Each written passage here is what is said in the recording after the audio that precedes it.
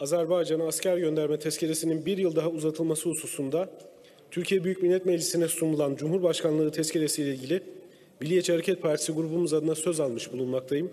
Gazi Meclisimizi ve ekranları başında çalışmalarımızı takip eden aziz milletimizi sevgi ve saygılarımla selamlıyorum. Muhterem milletvekilleri, içerisinde bulunduğumuz yüzyılda dünyamız çeşitli ciddi sınamalarla karşı karşıya kalmıştır. Bugün farklı coğrafyalarda vasat bulan krizler sadece yaşandığı bölgelerde kısıtlı kalmamakta ve tesirleri büyük olan bölgesel ve küresel etkiler yaratmaktadır. Yakın dönemde Hamas ve İsrail arasında yaşanan çatışmalar her geçen gün farklı boyutlar kazanırken özellikle İsrail'in saldırıları neticesinde yaşanan insanlık dramı hepimizi derinden yaralamıştır. Gazze'de İsrail tarafından hunharca katledilen bebekler ve çocuklar vicdan sahibi herkes için kanayan bir yara haline almıştır. Ancak bütün bunlar, bütün bu acılar elbette ki geçecek ve geçmek zorundadır. İnsanlık var olduğu günden bu yana hiçbir zulüm payidar olmamıştır. Zalimin zulmünün arttığı yerde mazlumun ahı her daim galip gelmiştir.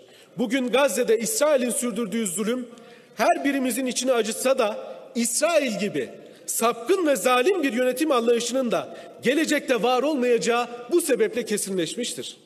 Sessiz kalarak zulme ortak olmayacağımız, her daim mazlumun sesi olacağımız tüm taraflarca iyi anlaşılmalıdır. Mazlumun umudunu yaşartmak, İsrail'in terörüne son vermek için Milliyetçi Hareket Partisi olarak önerilerimizi yeri gelmişken yüksek heyetinizle tekraren paylaşmak isterim. İlk olarak İsrail ile Filistin arasındaki çatışmaların durması, sürdürülebilir barış ve ateşkes ortamının tesis edilmesi ve insani yardım koridorlarının bir an evvel açılması şarttır. İkinci olarak İsrail'e kapsamlı yaptırım programı uygulanmalı, Gazze'yi harap etmesinden dolayı mutlaka tazminata mahkum edilmelidir.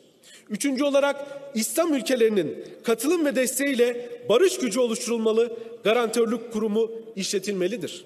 Dördüncü olarak Uluslararası Barış Konferansı aynı çerçeve kapsamında bir an evvel toplanmalıdır. Beşinci olarak iki devletli çözüm iklimi acilen yeşermeli, 1967 sınırlarına haiz başkenti Doğu Kudüs olan egemen toprak bütünlüğü sağlanmış bağımsız Filistin devletinin tanınması sağlanmalıdır. Altıncı olarak da eli ve vicdanı kanlı Netanyahu ve yönetimi işledikleri savaş suçlarından dolayı Lahey Adalet Divanı'nda yargılanmalıdır. Bugün geldiğimiz aşamada görülmektedir ki küresel sistem artık bütünüyle çıkmaza girmiştir. Küresel mekanizmalar tümden etkisini yitirmiştir. İnsanı temel alan, barış ve istikrar önceleyen politikaların geliştirilmesi ve uygulanması tüm insanlık için zorunlu hale gelmiştir. Türkiye'nin arzu ettiği ve gayret gösterdiği de budur.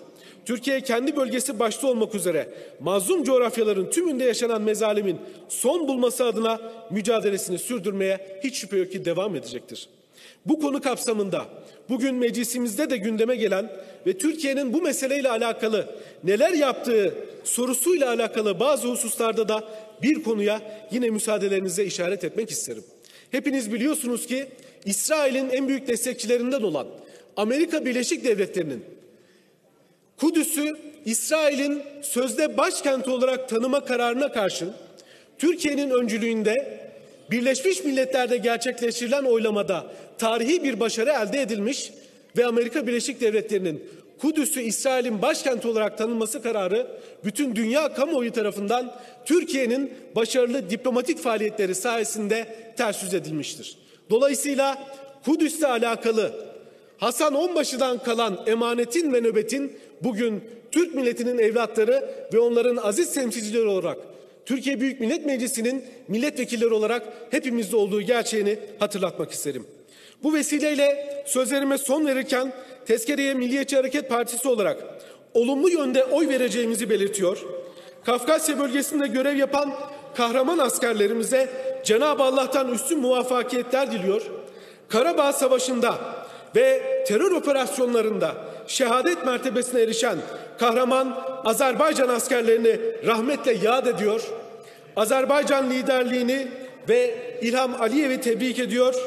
Yine bugünün vesile olması münasebetiyle Kuzey Kıbrıs Türk Cumhuriyeti'nin 40. kuruluş yıl dönümünü kutlarken başta Kıbrıs davasının yol başçısı Fazıl Küçük ve Kuzey Kıbrıs Türk Cumhuriyeti'nin ilk Cumhurbaşkanı Rauf Denktaş olmak üzere şehitlerimize Cenab-ı Allah'tan rahmet diliyorum. Gazi Meclisimizi de sevgi ve saygılarımla selamlıyorum.